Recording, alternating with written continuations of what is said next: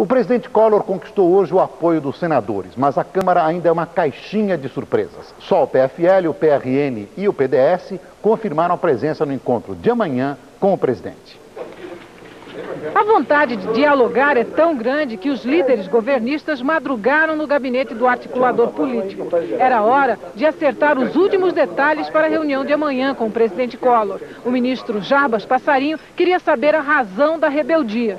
Não me deram muita explicação, não. Eu acho que já não existe a insatisfação. Mas na conversa com os jornalistas, os líderes foram mais francos. O deputado Amaral Neto confessou que vai levar ao presidente Collor a insatisfação da bancada inteira do PDS. O problema crucial é o que está acontecendo.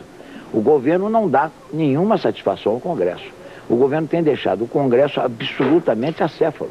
E é o que nós queremos, é acabar com isso. Na Câmara, a articulação parece complicada. Os deputados querem não só o Planalto, mas toda a esplanada aberta para o livre acesso. Já no Senado, o diálogo deu um salto hoje. Num almoço que durou três horas, ali no primeiro andar, onde mora o senador Jorge Bornhausen, o presidente Collor recebeu dos líderes do PRN, PFL, PDS e PTB a oferta de um bloco de sustentação. O Senado até hoje tem dado essa sustentação mais informal, né?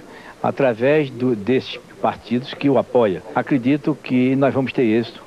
E na nova legislatura, nós já estamos com meio caminho andado.